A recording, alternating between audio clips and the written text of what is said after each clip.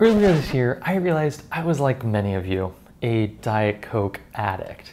And not just any type of Diet Coke addict, I was addicted to the cans. That cracking open sound, the uber fresh bubbles, ice cold, mm, and I was drinking five to 10 cans a day. And that was really starting to add up in my budget. I knew there had to be a better way.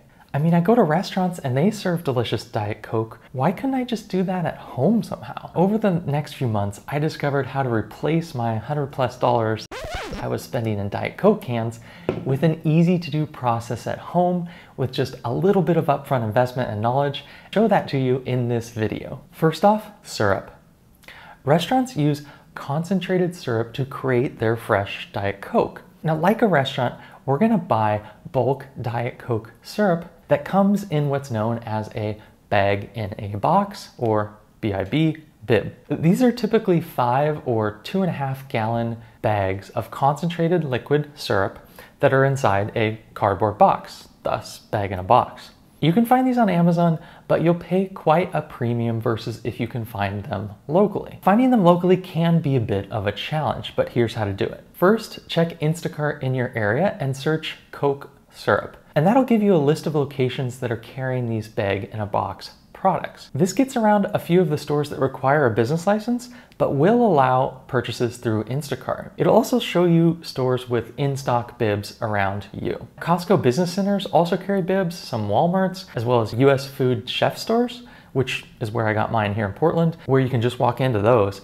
no business license required. There's also Restaurant Depot that has 159 locations in the US, but they do require a business license, but a lot of those are on Instacart, so check that out first. As last resort, you can always go to Amazon. You will pay a higher price, but you can get them delivered to you directly. I'll put a few links to those below. Once you have your bib, this will make a ridiculous amount of Diet Coke, and we'll get into the calculation more on that later. Okay, so we have our first of two key ingredients. Now, we do need some gear. Let's cover the first piece of equipment that we need for our bib, and that is a bib tap valve. This gives your syrup bag a tap to release the syrup in a controlled fashion that we need when we're mixing with our second ingredient.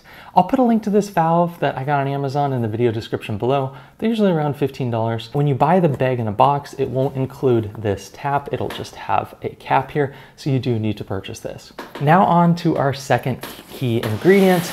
We have our concentrated syrup, which we will mix one part syrup to five parts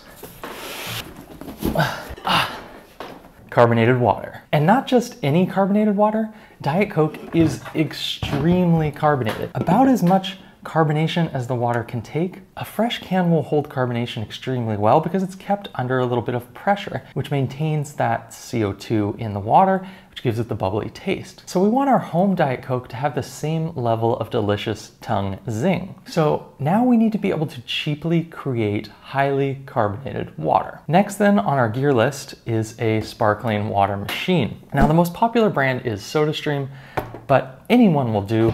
The real key here is how cheaply we can get our bulk CO2. The machine itself doesn't make a huge dent in our long-term costs. I love my Aarke 3, but it's quite a bit spendier than the SodaStream Art is, which is also a great pick. So with any home soda machine, after the initial investment in the device, the highest and ongoing cost is actually the CO2. It's these things. You're never gonna save money versus buying Diet Coke if you're paying $15 plus to refill these cylinders.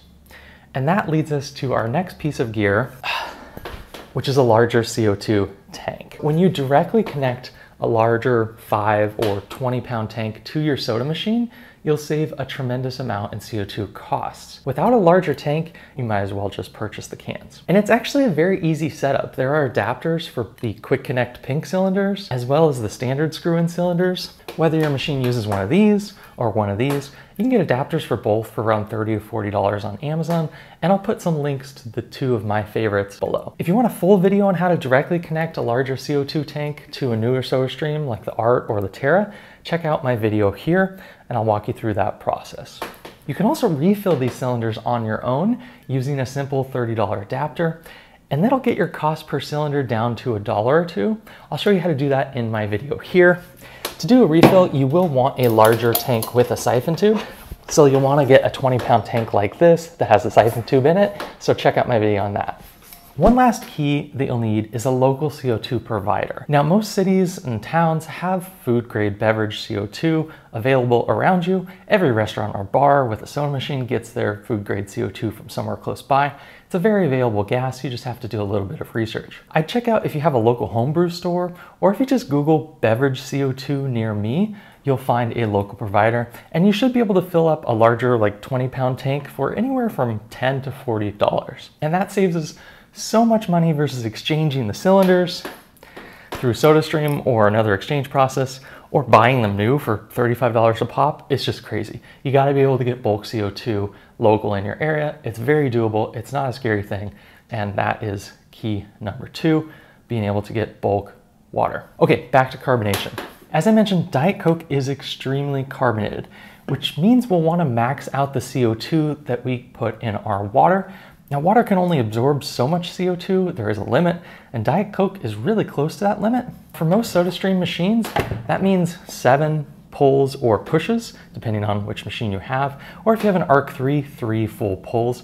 Now whatever machine you have, you wanna max out the limit of it, of how much carbonation you can put into a bottle to try to match what comes in a Diet Coke. One other key, make sure the water that you carbonate is extremely cold. Make sure to put your water in the fridge before you carbonate it. CO2 is very temperature sensitive and the colder water will be able to absorb more CO2 than warmer water. So always put your water in the fridge before you carbonate. Also, like, who wants to drink lukewarm Diet Coke? No one. Once we have our carbonated water super bubbly, we're on to the final step, which is to mix our syrup with our ice cold carbonated water to create fresh, delicious Diet Coke. Now our syrup is meant to be mixed with carbonated water in a one to five part ratio. One part syrup to five parts water. So using a one liter SodaStream bottle or Aarke bottle, we have six parts of about 166 milliliters each, and we typically carbonate our water with around 180, 140, 840 milliliters of water,